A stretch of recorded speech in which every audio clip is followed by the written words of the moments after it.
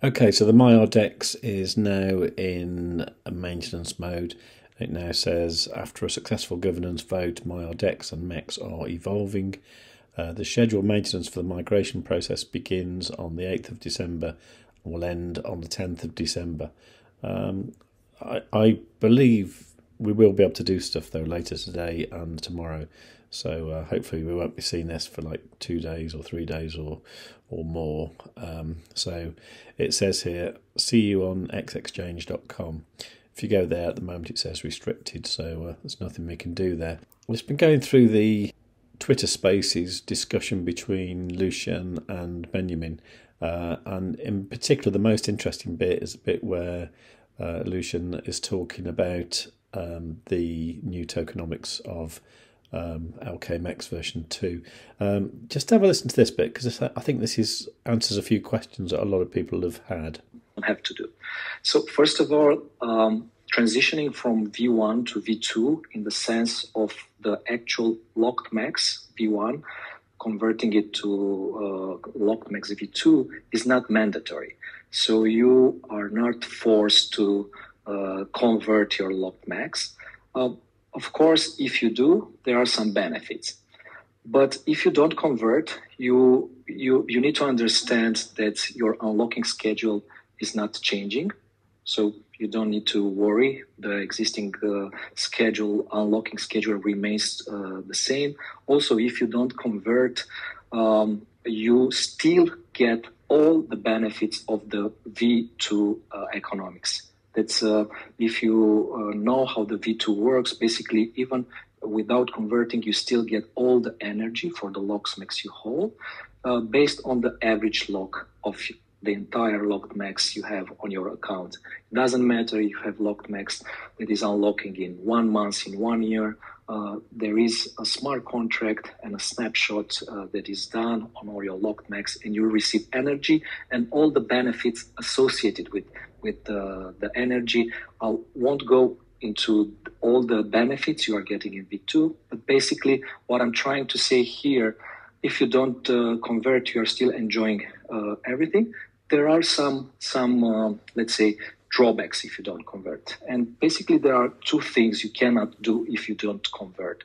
You cannot unlock, uh, speed up the unlock this is something that in V2 at any time you can unlock your your uh, locked MEX, of course by paying a so-called removal fee.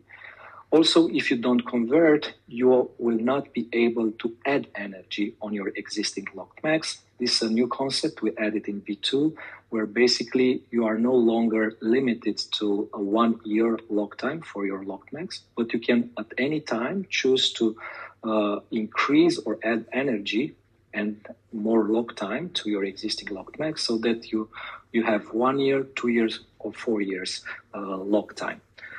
Um, maybe um, let's see other things that uh, you need to understand is, as I said, very important for those who, let's say, are on uh, believe in our vision and are uh, uh, with us on the long term and they want to maximize their energy, there are so many uh, benefits of on converting. Still, if you don't want or you want a little bit to wait, you still can taste the new the new rewards and how things uh, things happen.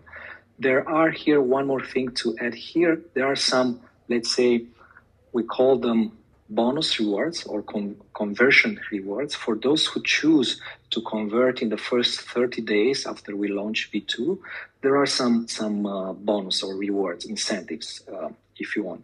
And I know that here probably I'm going to answer by touching this a lot of questions regarding those bonus rewards or conversion rewards and i'm going to touch uh, on those because i guess by this I, I have on my list at least six or seven questions regarding those rewards, meta bonding and the NFT rewards. So first of all, let's see what are those bonus rewards if you convert in the first 30 days after we launch V2. Um, there are two two types of rewards: meta bond, meta bonding rewards or meta bonding bonus rewards, and an NFT that will guarantee you a winning lottery ticket in a launchpad. Before going into details on each one, I want to make sure that uh, you understand how you can get those two bonus rewards. First of all, you need to convert all your V1 locked MEX to V2, but you don't have to lock it for four years or the maximum uh, uh, possible. You just need to convert.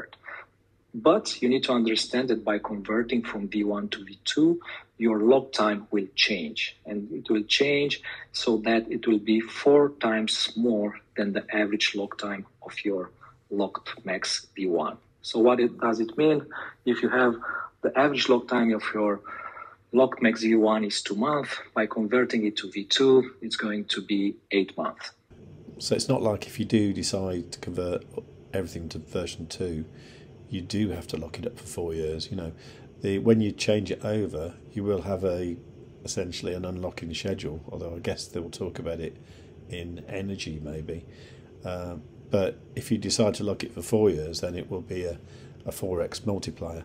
Uh, now, I think it was Hooky who commented uh, earlier on saying that when you uh, lock for four years, it adds six months on to your uh, your time. It might have been this example that Lucian gave where he was saying if you had two months, it would turn into uh, eight months. So obviously adding six months on. Uh, that might have been the example that maybe uh, somebody got confused with. So that's what it is really. Uh, there's another bit I just want to draw your attention to as well. This is about um, how it's done, which where, which it seems that you will have to kind of unstake your um, liquidity and you know separate LP tokens and put them back together again. Now the fear there is about impermanent loss, and uh, Lucian did make a point about this, which I think is worth listening to as well.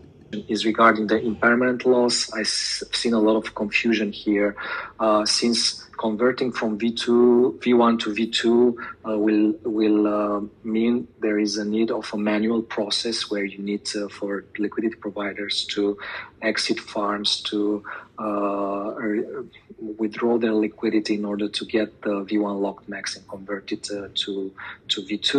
Uh, what I want to mention is impermanent loss. Um, it's, it's just a concept. By removing, by exiting a farm, or by removing liquidity, you are not incurring the impermanent loss uh, per se.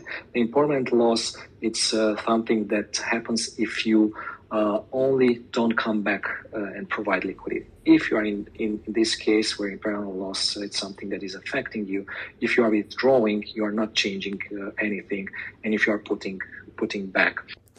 Okay, so uh, I hope that's clear. Um, yeah, so impermanent loss. You know, if you're split up your LP tokens and then you kind of convert to version two, then you re-provide the liquidity. You're not going to suffer impermanent loss uh, just by doing that. So that's worth pointing out. Something else worth mentioning is the fact that the fees for early withdrawal will be uh, withdrawn um, during the migration, and Lucian confirmed that here as well.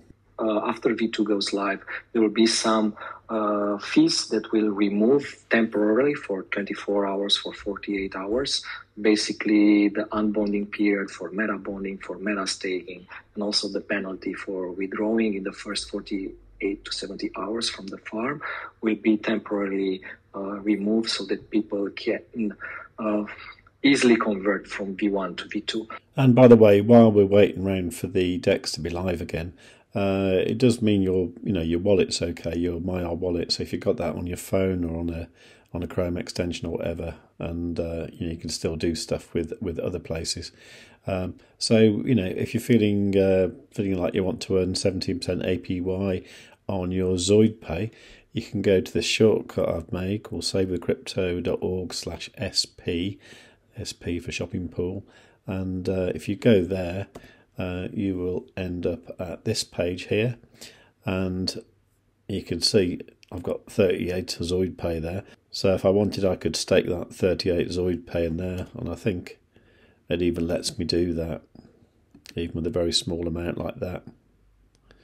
But it's worth doing it um, for 100 ZoidPay, because if you stake 100 ZoidPay, which is only a few dollars, uh, I will give you 100 ZoidPay. So that's what you can do if you've got some ZoidPay in your Maiar wallet right now. But otherwise, we can just uh, wait till later and hopefully see how it works swapping version 1 LKMEX to version 2 LKMEX. Okay, so if you've enjoyed the video, give it a like. Please make sure you subscribe, leave a nice comment, um, and above all, tell your friends.